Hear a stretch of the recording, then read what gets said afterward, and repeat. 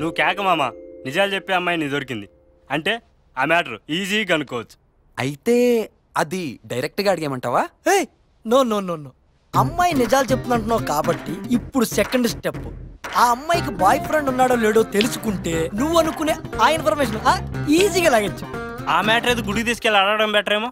ఎందుకో? చెప్పు తీసుకొడదామంటే గుళ్ళు అమ్మాయికి చెప్పులు ఉండవు కదా. కరెక్టే.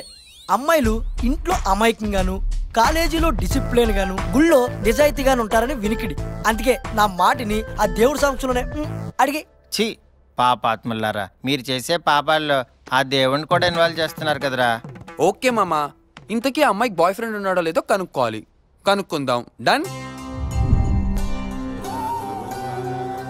స్వామి లోలాకి బాయ్ ఫ్రెండ్స్ లేకపోతే నా ఫేస్బుక్ ఫ్రెండ్స్ అందరికీ గుండు కొట్టిస్తాను. ఓం వెంకటేశాయ మహాకారం తీరణం సర్వ వ్యాధి నివారణ సమస్త పాపక్షేకరణ. ముందు దేవుణ్ణి చూడండి ఆయన. అమ్మాయిని తర్వాత చూద్దు కానీ అమ్మ పంతులు గారు కొబ్బరిని మీరు తాగి సుట్నలు మాకు పోస్తారా? భక్త గర్ల్ ఫ్రెండ్తో వచ్చిన వాడిని కెలకటం అవసరమా? నన్ను క్షమించు తండ్రి.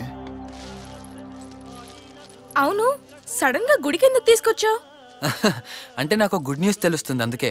అదేంటి? ఎవరైనా గుడ్ న్యూస్ తెలుసా కదా గుడికి తీసుకొచ్చేది? అంటే ముందే గుడికి వచ్చేస్తే బ్యాడ్ న్యూస్ కూడా గుడ్ న్యూస్ అయిపోద్దని. ఎస్ ఆర్ రైట్ అవును. అంటే నీకు పై పనులు చేయడానికి ఎవరైనా ఉన్నారా? పై పనిలా? అంటే?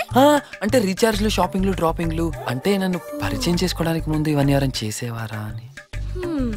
ఉన్నాడు. ఉన్నాడా? అంటే బాయ్ ఫ్రెండ్ ఉన్నాడన్నావు మరి నాకు ఎప్పుడు చెప్పలేదు. ఇంతకీ ఎందుకు వదిలేసావు? ఎవరు చెప్పారు నేను వదిలేశానని? ఇదిగో. నా బాయ్ ఫ్రెండ్ ఆ ఫోటోనా? అంటే ఫ్లాష్ బ్యాక్లో బాయ్ ఫ్రెండ్ లేడు.